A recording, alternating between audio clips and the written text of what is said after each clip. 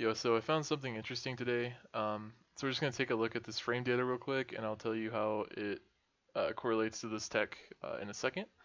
Um, so just remember, stand medium punch, five startup frames, 10 recovery.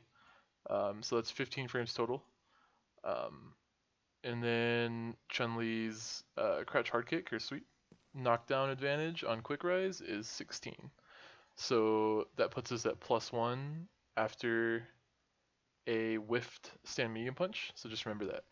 All right. So we're gonna go into the game real quick. Uh, one second. Should pop up any second. There it is. Okay. So in the corner, I have Chun set up to wake up super, quick get up, and then wake up super. So what we're gonna do is we're gonna sweep. We're gonna sweep, whiff, stand medium punch, and then whiff any normal in the game. Uh, what this will do, I'll, I'll show you actually.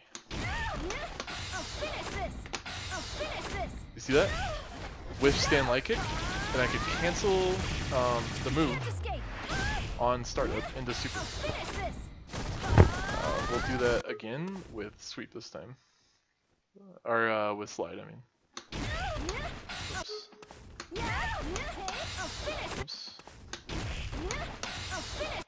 Getting it, one second. There it is.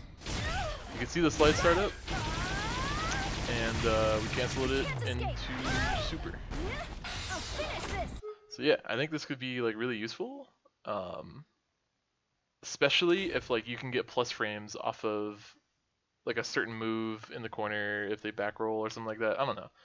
And this you can use this with any character. So yeah, have fun.